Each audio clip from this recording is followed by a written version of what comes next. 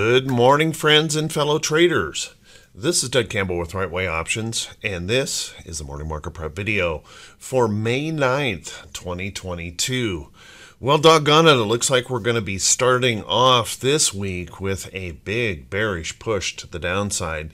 I know we were all probably kind of hoping that we would catch a little bit of a follow through on that relief rally that kind of began in the last 30 minutes of trading on Friday but not so much this morning.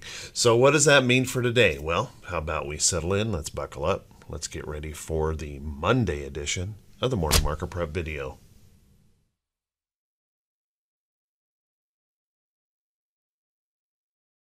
Good morning once again, everyone, and thank you so much for being here. I do truly appreciate it. I know everyone's probably going, oh, we don't need a Monday like this, and I, I definitely understand that sentiment, and I understand um, how painful this is probably feeling to a lot of folks out there, but I want you to understand that this is an important process in the market. Remember, we had we have been over exuberant in this market for so long as the Fed went through its printing party, and now we're going to deal with that hangover as they have just printed so much money. Inflation's causing all kinds of problems, and um, unfortunately, this is one of those processes that's necessary.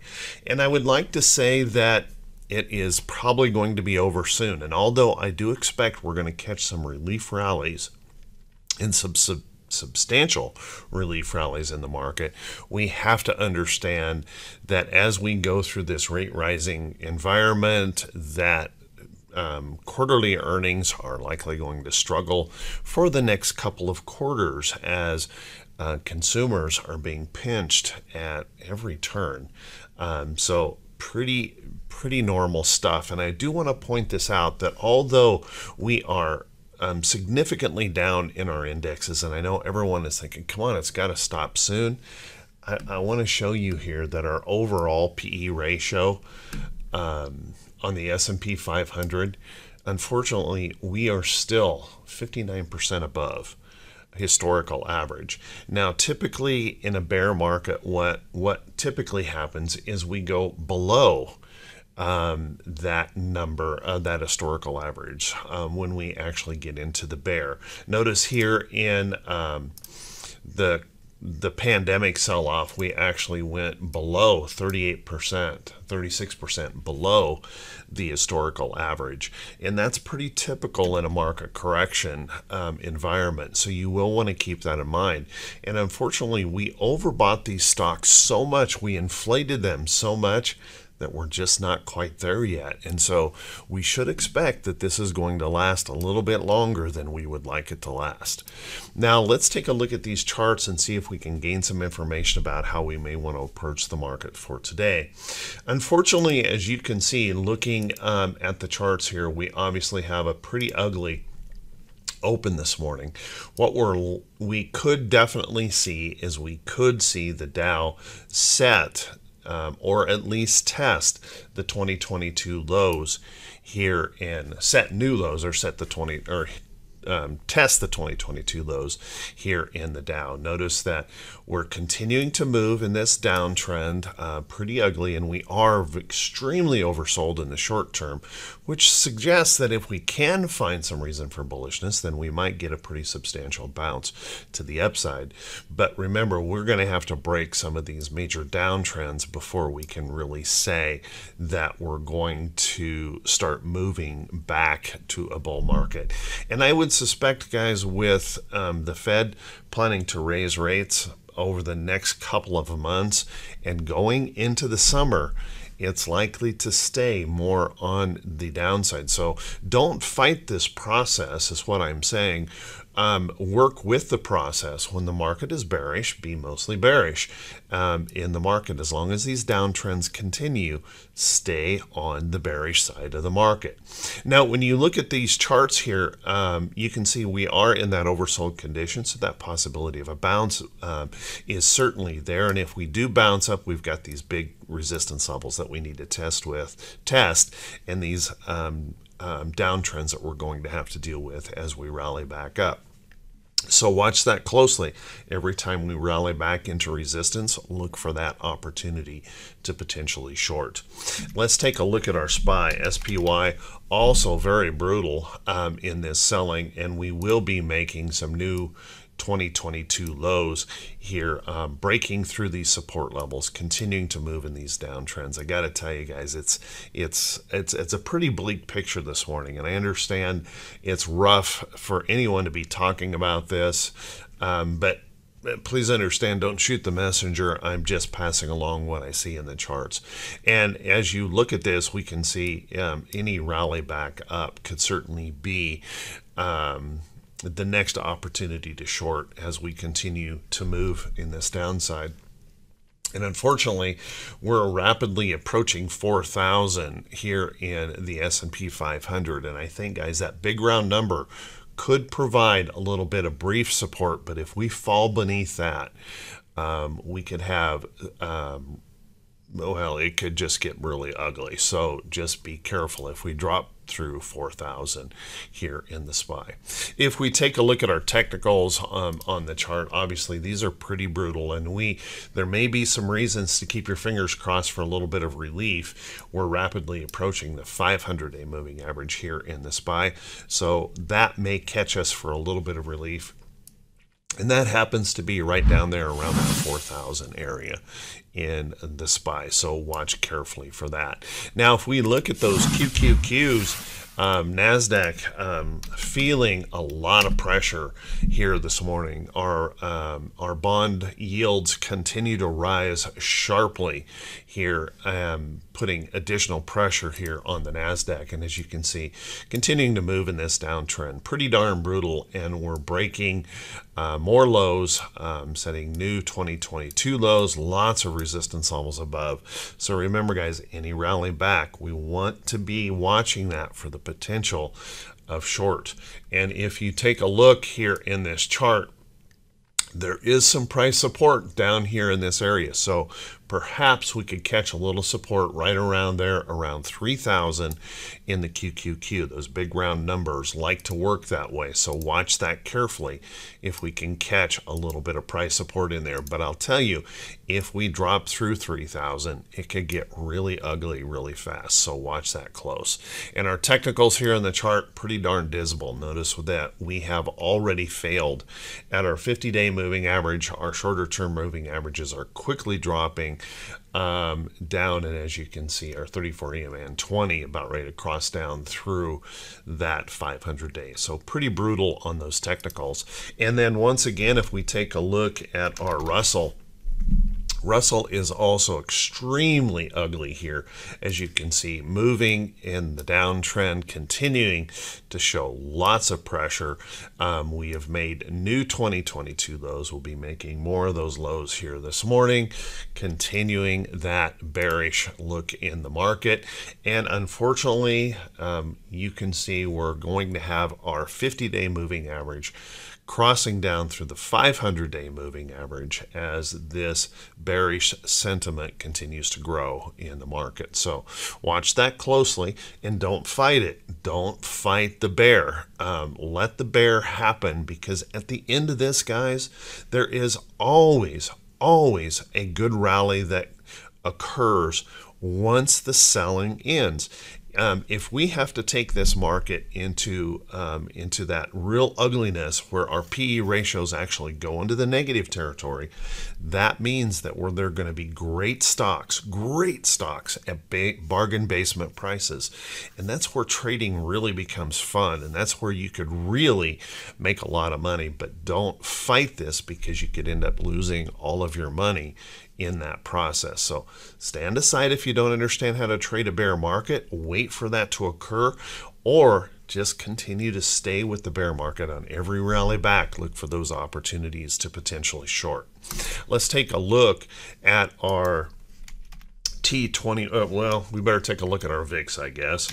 Um, our VIX, as you can see here in the chart, um, had pulled back on Friday, but there is some concern here, guys. I think if we run that possibility, if we pop above um, this area here, 37, 40, um, area of the VIX, we could really see a change of sentiment of the institutions where they really start unloading.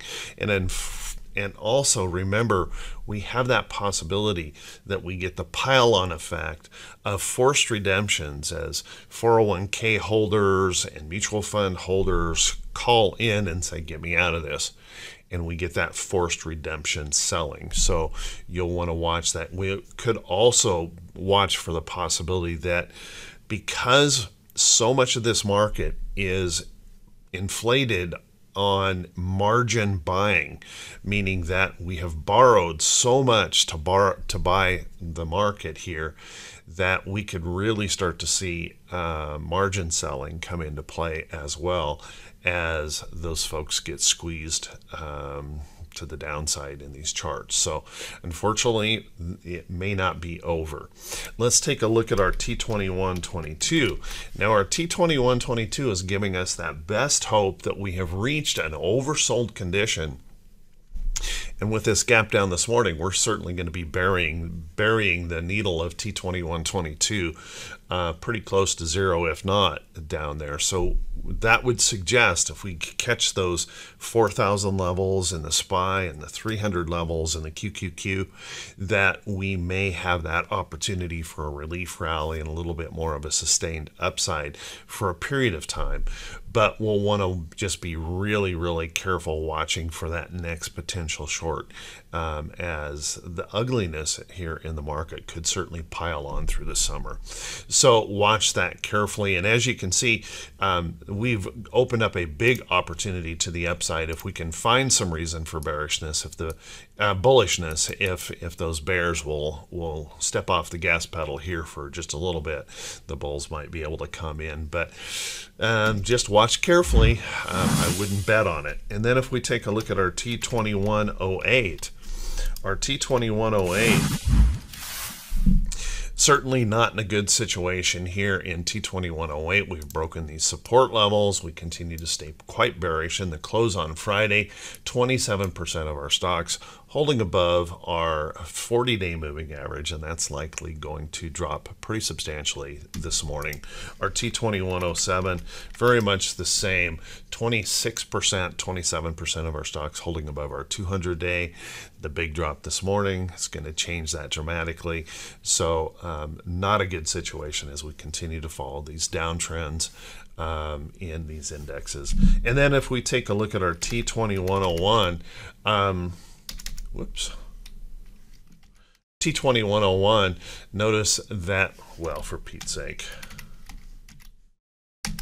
T2101 is pulling back um, um, with that little bit of relief we had on Friday, but I suspect, guys, it, it may spike up pretty hard here uh, today. So watch that carefully as those bears really growl hard um, here this morning.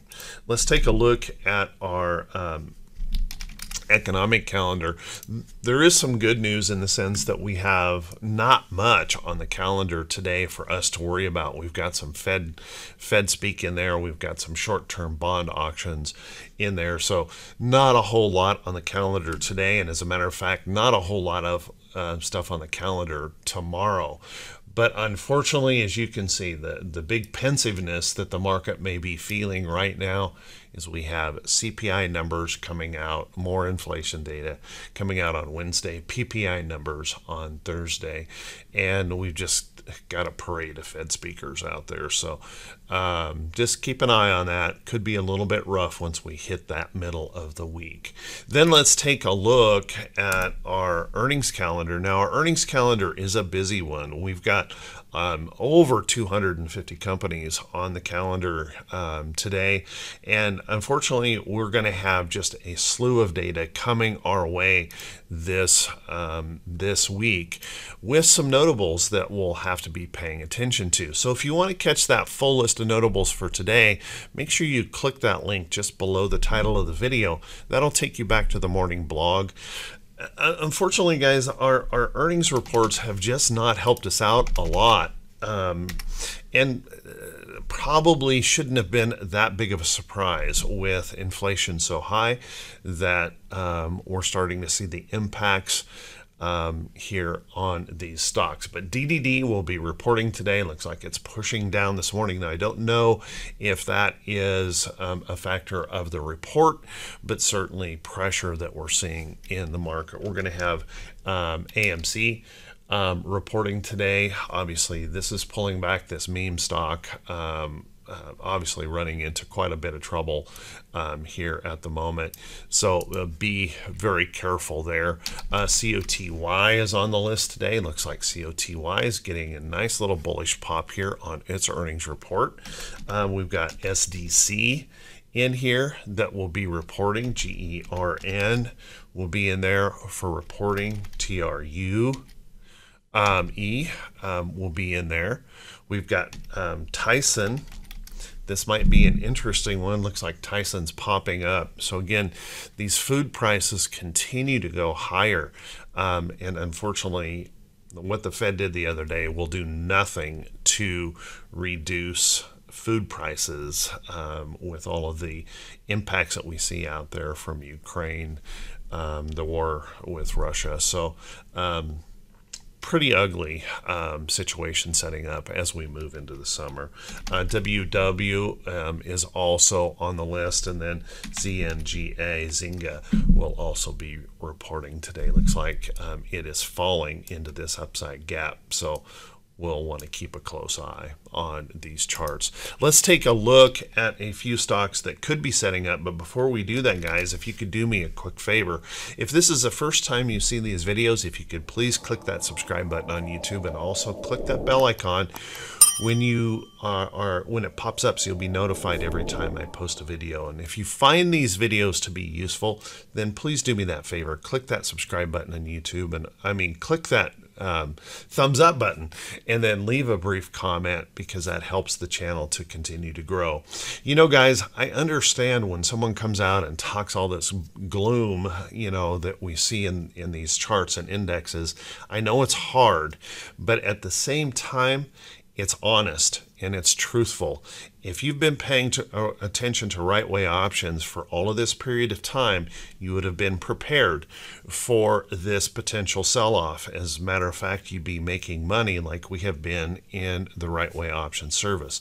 So keep that in mind. I know you don't want to hear it, and I know it's not what we want to want to see in the market. Everyone wants the market to be bullish, but at the same time, we have to trade with our eyes wide open. We have to understand these impacts out there in the market. So hopefully you understand as much as I hate to deliver this kind of information, it's important to do without all the hype and the drama and the prediction. So um, thank you so much for everyone who continues to support the channel. I do truly appreciate it. Let's take a look at some stocks that may be setting up. And please keep in mind, guys, these are not recommendations to buy or sell any security. As a matter of fact, you need to be doing your own due diligence, making sure that you're paying very, very close attention to the risk of these trades, that you're following your trading plan and your rules. And you should never, ever blindly follow anyone else's trade ideas. First off, let's take a look, look at a few things on the bullish side. Yep, I did say bullish side. Take a look at CLX. We're seeing some of these defensive sector stocks picking up. These are those consumer staple things, things that we're always going to need. So you'll want to pay attention to those kind of stocks because they are holding up quite well. Now, I will tell you on a big sell off day like today, it's certainly possible that all of these stocks will feel some pain. They'll get drawn into the selling as well. So watch that closely, but CLX looking pretty good. And this is one I've been mentioning for a while that could be setting up. We might also want to keep an eye on some of these just standard food stocks like um, Coca-Cola that's held up quite well, um, KHC that's hold, held up quite well, um, things like um, Hershey that has been holding up quite well. Looks like it's going to get a big old ugly selling here this morning, but we're we're seeing a lot of these food type stocks holding up very very well, um, and just simply because of the costs um, um, uh, going up, and these are things that we are definitely going to need. So if you're looking for some upside potential, make sure you're looking in those stocks or in those sectors that have that upside trend in play. Don't be trying to pick bottoms or pick tops. Stay with trends as they um, continue to react. Another place that you might look is um, um, into the utilities sector. Um, utilities have been holding up quite well, and although we might get some pullback on them, we have here recently noticed that a lot of these have been holding um, up pretty well. And as you dive into that sector, you're going to find lots of stocks um, um, trying to move up here overall. So keep an eye on some of these stocks that are trying to hold up in that utilities area. Think about the things that people will always need, even in a bear market, even if conditions get really ugly. Think about the things that people will always need, and those may be the safe havens here in the market. Um, for the shorting side of things, guys, I continue to mention financials, and although we had financials rally um, here just um, last week a little bit. Um, I think I was dead on accurate when I was talking earlier last week that these were setting up short and continuing to push down. And I suspect a lot of these financials will continue to see some selling. If you look at Citibank, looking um, like it is set up here for a sell, uh, BAC could be set up here for some shorting in those charts. So continue to look at some of those financials. I think um, we've got more downside that may be coming in these as we raise rates and the consumer continues to get more and more strained. So watch those close. And then um, I have to I have to also say tech. Um, as our bond rates continue to go up and our bond rates are getting our, our bond yields are are continuing to press this subject hard. And um, tech continues to suffer. And although we saw um, some little bit of rally last week on some of those take a look at microsoft. Looks like microsoft's going to be setting new 2020 lows here with some ugly selling poor Amazon can just continued to sell off, not looking good. Now I wouldn't chase this to the downside, but any rally back then may set up some opportunity to short. So watch that closely. And I think tech will continue to struggle here for a while as long as those bond yields continue to rise as quickly as they are. So be very, very careful, guys. A lot of volatility plan your risk carefully. If you're not comfortable with this kind of volatility, if you've been losing a lot lately, stop trading. Stand aside. Let this happen because when this is over, things will get very better, much, much better. Unfortunately, it could take all the summer. Uh, it, it, could take another up to 12 months or more for this to resolve itself if this is a true bear. So be careful, guys. Be safe. Trade wisely. And I will see you right back here bright and early Tuesday morning. Wish you all the best.